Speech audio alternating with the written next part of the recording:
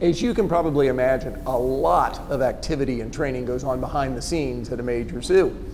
One of the things we do is training for operant conditioning for husbandry or for the health care and maintenance of the animals. Rather than having to capture an animal or knock it out in order to give it an exam or give it a shot or take blood, by working with it every day, the keepers can get them trained to present certain body parts. And then after they do each activity, they give them a reward of food it's a phenomenal thing to see. Here they're working with our Sumatran orangutan, who is just something else. He has a nine foot arm span. But each morning the keepers work with him on this training.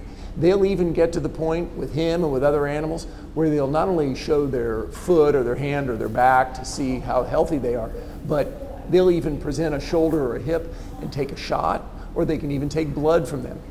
So it's great for their social behavior, being involved and active, and certainly great for their long-term health care and maintenance.